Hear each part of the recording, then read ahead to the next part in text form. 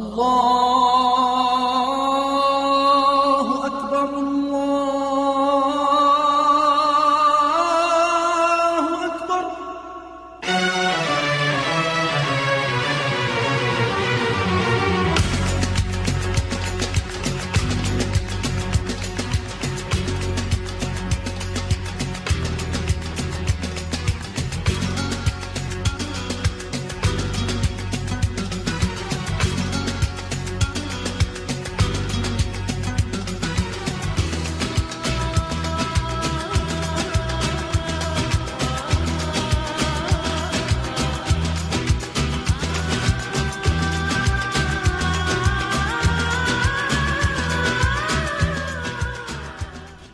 Good evening. I am Dr. Akl. I am a practicing physician uh, in Flint. I treat cancer patients.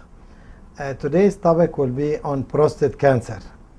Uh, prostate cancer uh, is uh, a disease very common uh, on men. As a matter of fact, by the age of 90, 60% of biopsies to the prostate will be positive for prostate cancer.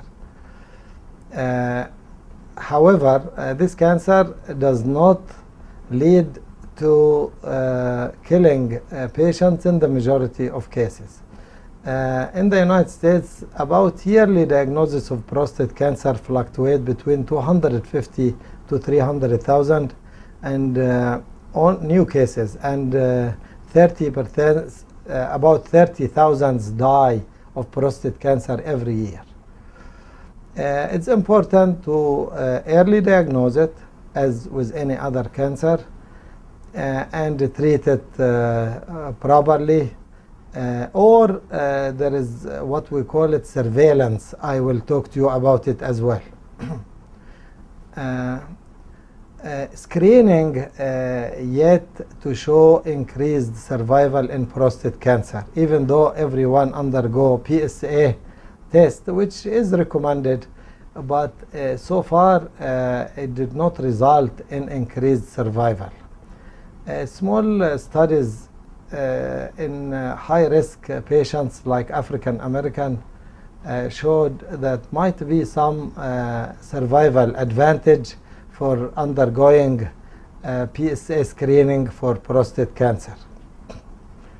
Uh, again, uh, th- those studies are small and uh, a lot of bias, uh, but the take home message is uh, screening so far did not result in uh, increased survival for prostate cancer and it is recommended also. You need to understand that. Those patients with high PSA or prostatic spe- specific antigen, those patients with high PSA uh, need to have biopsy to their prostate. I before I last one of the last sessions I explained the absolute value of PSA not necessarily important. The more relevant value is increased in PSA on regular tests. For example, if the patient PSA is 5 and uh, has been 5 for years and years and he has large prostate, we understand that the, that PSA is a reflection of the size of the prostate and if it stayed there for years and years, I would not worry about it. Uh, on the other hand, if the patient PSA 2 and has been slightly increased to 2.5 every year and so 3 and so that's more relevant and that patient need to have biopsy uh, because the increase in PSA would be more significant uh, than uh, a higher value stayed the same. Like uh, the, if it's 2 2.5 3 and so on that's more significant than if it is 5 and stayed 5 forever. Infection and other in other inflammatory conditions would increase PSA in those circumstances usually the PSA go very high especially for acute infections uh, for chronic infections sometimes it build up uh, like an abscess and the PSA steadily keep going up. So it's so important to do biopsy. You cannot diagnose prostate cancer based on increased PSA. you only diagnose prostate cancer based on tissue diagnosis, meaning a needle cut a small core from the prostate and the pathologist look under the microscope and they see cancer there. Then yes, you call it cancer. But PSA, increase in PSA or high PSA, all these do not indicate cancer. I will tell you when they indicate cancer. They only indicate cancer if the patient already have cancer and had surgery, for example, or radiation, and the PSA start to increase.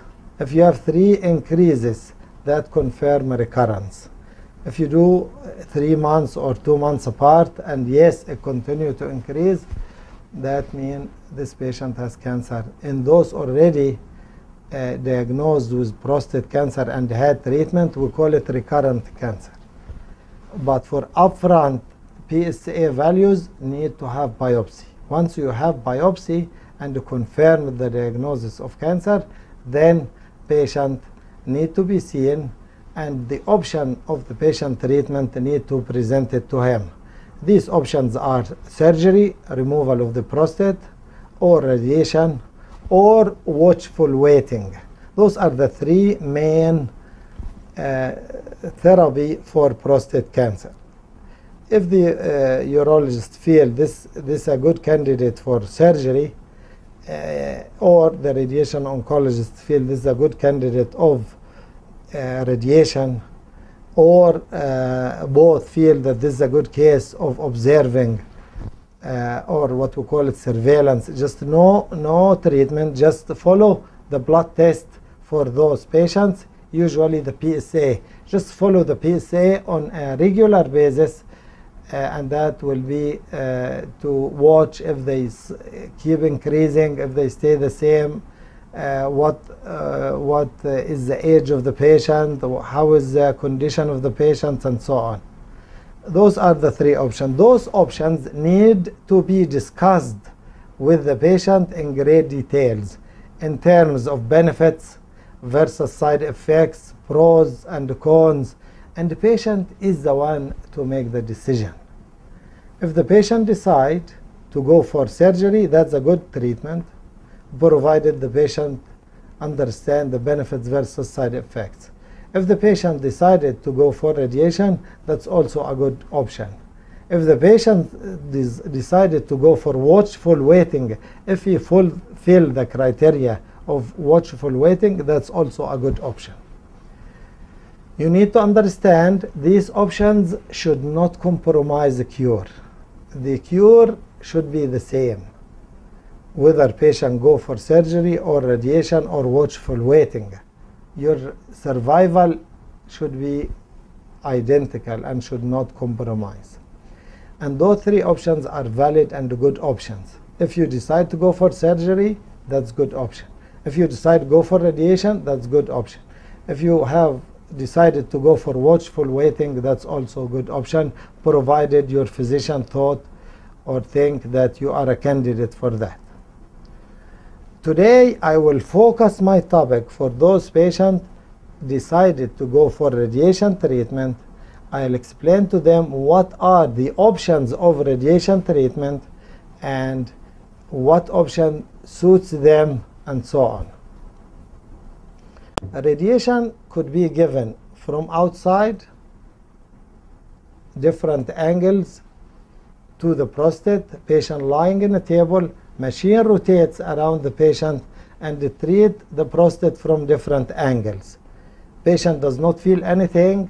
It's like having chest x-ray, you don't feel anything. And it takes about a few minutes, three, four minutes. Then patient finish treatment and that's it. And patient come every day for about eight weeks, five times a week, few minutes a day. We call it external beam radiation or external radiation and uh, that's a good treatment. We uh, now have what we call it intensity modulation radiation therapy, IMRT. You hear that? What's IMRT? You modulate the intensity of radiation just to hit the prostate